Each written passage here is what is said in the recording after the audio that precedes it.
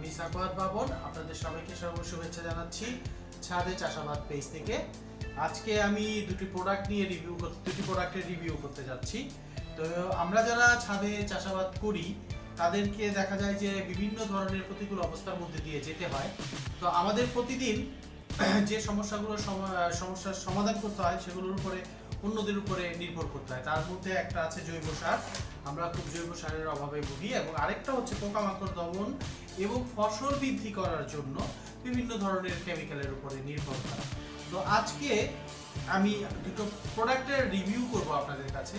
কারণ আমি চাচ্ছি যে যেই প্রোডাক্টগুলো দ্বারা কোনো ভালো ফল পাওয়া যাবে না, সেই ফলগুলো, সেই প্রোডাক্টগুলোকে আমরা আমাদের পেজে দেখাবো যে এগুলো ভালো প্রোডাক্ট নয়, এগুলো ব্যবহার করলে কোনো ফল পাওয়া যায় না, প্রতারণা ছাড়া আর কিছুই নয় তো চলুন, আজকে আমরা একটা ভালো কোম্পানির খুবই নাম করা একটা কোম্পানির একটা প্রোডাক্ট নিয়ে কথা বলব প্রথমে। সেটি হচ্ছে ফ্লোরা দেখুন, এটি ফ্লোরা এসিআই এসিআই এর ফ্লোরা কম এসিআই এর তৈরি ফ্লোরা একটা ওষুধ কেমিক্যাল এটা যেই কাজগুলো করে সেটা হচ্ছে এই এই কেমিক্যালটা ব্যবহার করে আহ, উদ্ভিদের শক্তি বৃদ্ধি করে তারপর ফুলের সংখ্যা বৃদ্ধি করে ফুল ঝরে পড়া রোধ করে অধিক ফলন নিশ্চিত করে এবং এটা অবশ্যই পরিবেশ বান্ধব। তো আমরা যদি পরিমাণ মাত্রায় এই ফ্লোরাটা বিভিন্ন, আমাদের বিভিন্ন গাছে ব্যবহার করি, যেমন এটা ধান খেতে ব্যবহার করা যায়, এটা লাউ, শিম, তারপর করল্লা তারপরে লেবু মটরশুঁটি তারপরে বেগুন, বিভিন্ন ধরনের গাছে ব্যবহার করা যায়।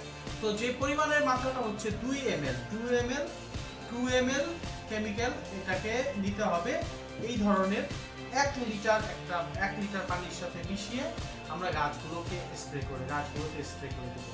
এবং তারা যে নিয়মগুলো বলেছে যে উদ্ভিদ লাগানোর দশ থেকে প্রথম এক পর্যায়ে, দ্বিতীয় পর্যায়ে, তৃতীয় পর্যায়ে তিনবার স্প্রে করলেই দেখা যাবে যে গাছগুলো বেশ মোটামুটি ভালো হবে। তো বন্ধুরা দেখুন যে এই ফ্লোরা এসিআই এর এই ফ্লোরা প্রোডাক্টটা আমরা আজকে এখানে আমি পুরো প্রস্তুতি নিয়েছি। এই যে দেখুন, আমি এই যে টু এম এল নিয়েছি। এই এইটার মধ্যে মিলিয়ে দিলাম। তো এইটা মিলিয়ে দিয়েছি। এখন আমি এটাকে আজকে রাতেই গাছে ব্যবহার করব। প্রোডাক্টটাকে নিয়ে এসেছি এবং আমি এটাকে কিছু রাতে স্প্রে করব। কারণ রাতে স্প্রে করার একটা সুবিধা আছে। আসলে এই ধরনের স্প্রেগুলো সাধারণত রাতে করলে গাছ সারা রাত সেটাকে প্রসেস করার একটা সময় পায়। এবং যদি দিনে প্রসেস আপনার স্প্রে করা হয় যে কোনো স্প্রে সকালবেলা রোদের মধ্যে স্প্রে করা হয়, তাহলে রোদে গাছের সেই ক্রিয়াটা ওরকম ভাবে পাওয়া যায় না। তো বন্ধুরা, ঠিক আছে, আমরা এই এই প্রোডাক্টটার রিভিউ শেষ করলাম। তো আমরা দ্বিতীয় আরেকটা প্রোডাক্ট নিয়ে আপনাদের সাথে কথা বলব। সেটা হচ্ছে হলো সেবক নামে, সেবক নামের একটি জৈব সার। জৈব সার, এই জৈব সারটা আমরা আমাদের গাছে ব্যবহার করব। এটা যেমন লিচু, আম, কাঁঠাল, তারপরে আপনার পেঁয়াজ, ঢেঁড়স তারপরে মটরশুঁটি, তারপরে হচ্ছে মিষ্টি কুমড়া। দেখা যাচ্ছে জৈব সারটা সব ধরনের ইয়ার মধ্যেই ব্যবহার করা যায় এবং এটা যারা প্রডিউস করেছে তারা হচ্ছে হলো আপনার এই প্রোডাক্টটা এসেছে হলো Mega Organic Bangladesh Limited. Mega Organic Bangladesh Limited. আর প্রোডাক্টটার নাম হচ্ছে জৈব, এই সারটার নাম হচ্ছে হলো আপনার সেবক। তো দেখা যাচ্ছে যে এই সারটাও আমি আমার গাছে ব্যবহার করব। এবং ওই সাথে ওই কেমিক্যালটা বা ভিটামিনটা আমি ব্যবহার করব। তো এই দুটা থেকে, আজকে থেকে যেমন আজকে নভেম্বরের তিন তারিখ, তো আমরা পনেরো দিন পরে আবার এই দুটা যে প্রোডাক্ট ই করব, আমরা ব্যবহার করব। আমি ঠিক এক মাস পরে এই দুটা প্রোডাক্ট নিয়ে, ফলাফল নিয়ে আপনাদের কাছে আসব। যারা এতক্ষণ আমার ভিডিওটা দেখলেন, সবাইকে ধন্যবাদ। সাদে চাষাবাদ পেজ থেকে আপনাদেরকে অনেক অনেক শুভেচ্ছা।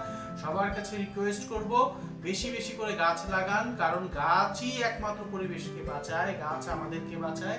এবং আমরা যেন গাছের বন্ধু হই। বেশি বেশি গাছ লাগান, কারণ গাছ প্রেমিকই দেশপ্রেমিক আসসালামু আলাইকুম।